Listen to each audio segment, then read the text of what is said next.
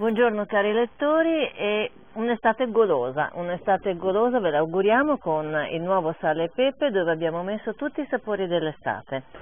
A partire naturalmente dalla copertina dove vedete abbiamo parlato di peperonate, non solo, peperonate alle altre, quindi tutti i mix di verdura che si fanno in tutte le regioni italiane che a volte si assomigliano, peperoni, melanzane e zucchine messi assieme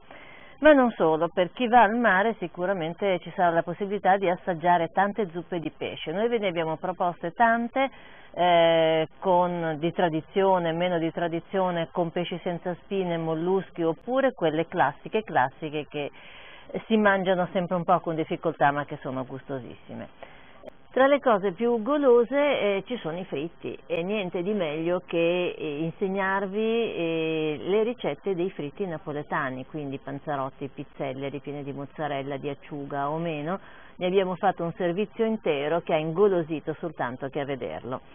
e visto che siamo prossimi alle Olimpiadi abbiamo pensato di eh, darvi uno spunto diverso per invitare gli amici a casa e invitarli con un menù a base di piatti inglesi e ve ne proponiamo 4-5. La pasta l'abbiamo interpretata nella maniera più classica che è aglio, olio e peperoncino, ma naturalmente sembra difficile, un piatto solo aglio, olio e peperoncino no, noi ve ne abbiamo fatto 5 tutti diversi uno dall'altro.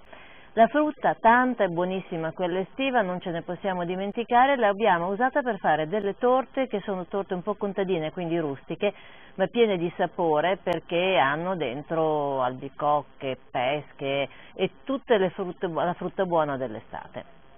E poi ancora tanto altro, tanto altro, siamo andati in giro, siamo andati sulla laguna di Grado dove c'è una bellissima spiaggia, magari molti di voi avranno l'occasione di andarci,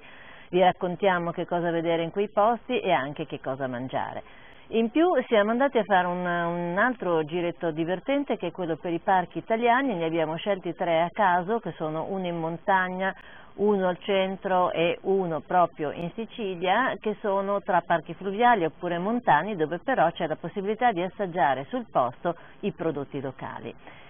E poi che dire, ancora tantissimo altro nelle nostre rubriche, eh, parliamo di barbecue, parliamo di libri, parliamo di food blogger, parliamo di tantissimo, tutto, tutto, tutto legato all'estate.